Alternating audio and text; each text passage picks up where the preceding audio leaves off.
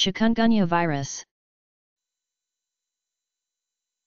Chikungunya virus, a virus that causes a disease resembling dengue fever, seen mainly in Africa, the Indian subcontinent, the Caribbean, and Southeast Asia.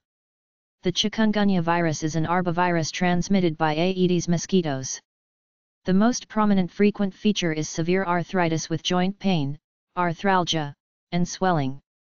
Chikungunya fever was first described in epidemic form in East Africa in 1952 to 1953.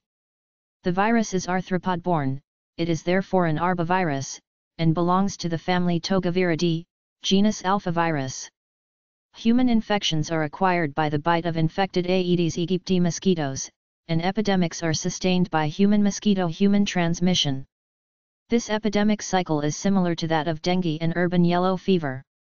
Illness from chikungunya virus infection is characterized by sudden onset of signs and symptoms of, symptoms begin 3 to 7 days after being bitten by the mosquito carrying the virus. In contrast to dengue, chikungunya is characterized by a shorter feverish episode, by persistent joint pain in some cases, and by the absence of fatalities. The chikungunya virus is not contagious, it cannot be spread directly from person to person.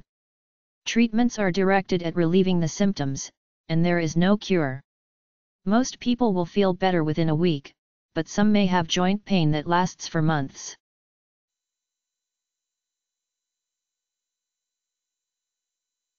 C H I K U N G U N Y A V I R U S Chikungunya virus